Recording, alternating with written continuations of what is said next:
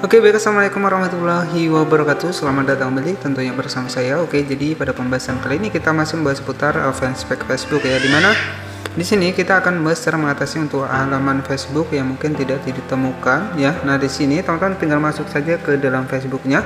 Dan di sini ya kita menggunakan Facebook versi seluler ya. Jadi jangan menggunakan uh, Facebook Lite ya. Jadi di sini teman-teman untuk membuat sebuah fanspage teman-teman bisa menggunakan Facebook seluler dan untuk Facebooknya sendiri teman-teman bisa dapatkan di Play Store ya. Nah di sini teman-teman bisa pilih di bagian Facebook seluler ya. Nah seperti ini ya. Oke, jadi di sini untuk mengecek untuk halaman kita ketika memang tidak ditemukan. Nah, untuk langkah yang pertama, teman-teman bisa diperbarui saja untuk Facebooknya ke versi yang terbaru. Nah, caranya teman-teman tinggal masuk saja ke Play Store seperti ini, kemudian teman-teman tinggal klik saja di bagian Facebook. Nah, jika ada muncul menu fitur update di sebelah kanan, maka nanti teman-teman bisa diupdate saja untuk ke versi yang terbaru ya, agar untuk fanspage yang sudah kita buat itu bisa muncul, teman-teman ya.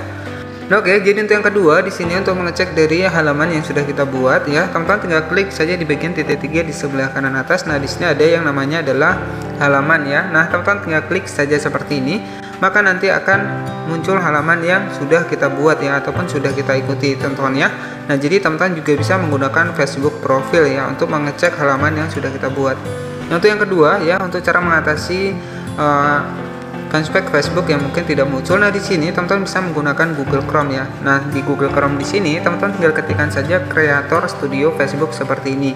Nah, kemudian teman-teman silahkan login menggunakan akun silahkan teman-teman login menggunakan akun Facebook yang aktif ya, yang sudah didaftarkan ke halaman fanspage ya. Kemudian kita klik saja seperti ini dan teman-teman bisa langsung saja masuk menggunakan Google Chrome ya ataupun menggunakan metafor uh, Facebook ya. Nah, nanti nah di sini ya. Jadi di sini ada halaman yang sudah kita buat. Nah, caranya teman-teman tinggal klik saja di sebelah kiri seperti ini. Maka nanti akan muncul menu halaman yang sudah kita buat. Jadi teman-teman tinggal diubah saja ke halaman yang teman-teman inginkan ya.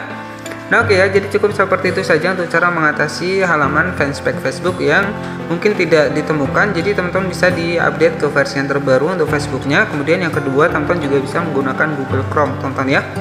Oke, jadi cukup seperti itu saja untuk cara mengatasi halaman Facebook yang mungkin tidak bisa ditemukan ya. Semoga informasi ini bermanfaat. Jangan lupa buat klik tombol subscribe dan aktifkan lonceng notifikasinya agar kamu tidak ketinggalan informasi terbaru dari channel ini. Nah, oke, selamat sore dan wassalamualaikum warahmatullahi wabarakatuh.